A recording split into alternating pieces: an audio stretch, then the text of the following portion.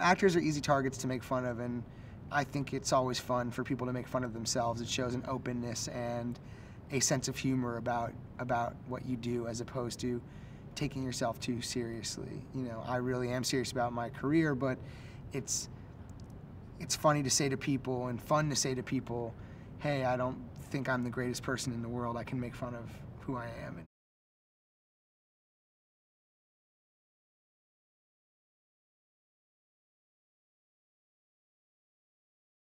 It's amazing, you know. Uh, these are guys I've admired for a long time. It's it's interesting. James and I are going to make a movie after this that's a completely straight drama about murder, and now we're doing this movie which is completely absurd and funny, and you know.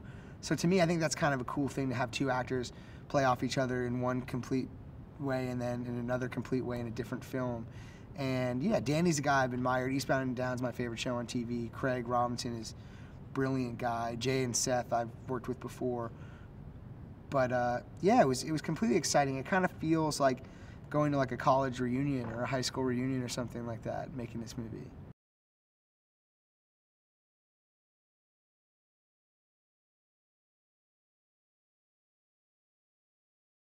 I think they're amazing directors. They are always kind of filmmakers, even early on in their writing and they their movies have a very Seth and Evan feel to them, even if they weren't the directors of their of the, that particular movie.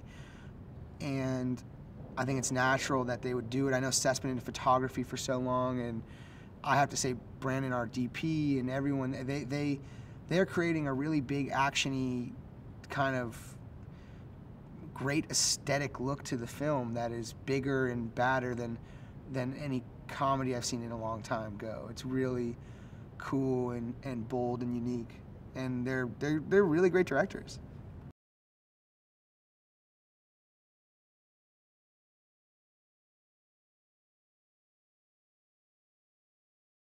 For me, it's exciting because it's rare to get a bunch of people who used to be unemployed together that now are really successful or, or, have other jobs or something that usually prevents them from being together a lot get to be in the same place together for three months. I found that to be a really beautiful thing that that seth and evan were able to put all these people together and get everyone to be together and make something cool and make art together. And that's that to me is what sometimes i'll look around and go wow you know, today Paul Rudd was here, Michael Cera is here, and Segel and Rihanna and Emma Watson and all of us and Franco and Danny and me and Seth and and all these people who do all these amazing things and and and he can he and Evan have brought everyone together to make it something cool that they're passionate about and that's really hard to do and really cool that they did that. I just I'm lucky I get to be you know around all these people that make me laugh and make me have fun.